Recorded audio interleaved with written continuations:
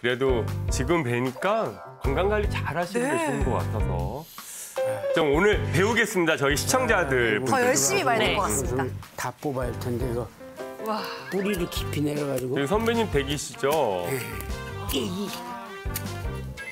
요즘 뭐 풀이 그냥 어마어마하게 자란다 그러더라고요. 비가 와서. 풀반 상추반 몇 가지나 지금 키우고 계신 거예요? 한 열 가지 돼요.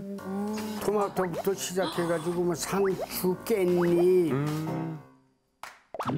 아우 블루베리도요? 왜 농사를 졌던가 전원 일기를 왜 출연해가지고 농사에 그냥 뿅 가가지고 어, 재미로 시작했는데 네. 너무 힘들어요. 재미로 되는 게 아니야. 어유 선생님 안녕하세요. 어유 선생님 안녕하세요. 어?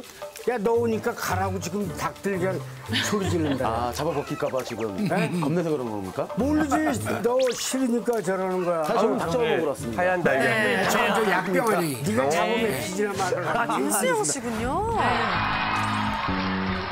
아들 놈이면 아들. 맞아요.